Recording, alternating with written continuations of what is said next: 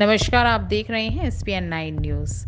Madhya Pradesh में बीते मार्च माह में एक बड़ा उलटफेर हुआ, जिसके मुताबिक कांग्रेस के प्रदेश के कदावर नेता ज्योतिरादित्य ने कांग्रेस से अपना इस्तीफा दे दिया।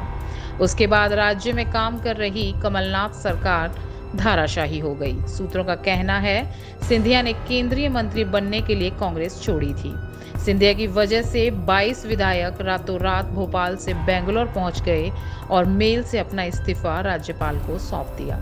इसके बाद कई दिन तक चले नाटकीय घटनाक्रम में कमलनाथ सरकार ने सुप्रीम कोर्ट के निर्देश के बाद बहुमत सिद्ध होने से चंद घंटे पहले इस्तीफा दे दिया। इस दौरान महाराज सिंधिया ने बीजेपी का दामन थाम लिया और भाजपा ने मध्य प्रदेश से उन्हें राज्यसभा का उम्मीदवार बना दिया। अब उनका केंद्र की मोदी सरकार में मंत्री बनना भी तय हो गया था। लेकिन अब ऐसे हालात बने जिसकी कल्पना सिंधिया और उनके समर्थकों ने भी नहीं की थी। देश में कोरोना नामक महामारी फैल गई और इस कारण राज्यसभा का चुनाव स्थगित हो गया।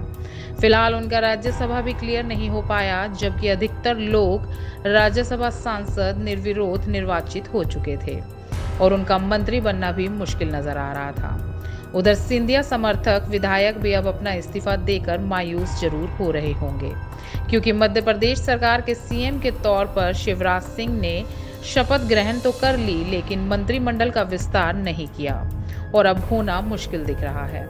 मीडिया में आई खबरों के अनुसार मौजूदा स्थिति में खुद सिंधिया और उनके समर्थक पूर्व विधायक भी असहज हैं और बदले माहौल में बीजेपी भी बीजेपी में भी उनको भाव नहीं मिल रहा। धन्यवाद।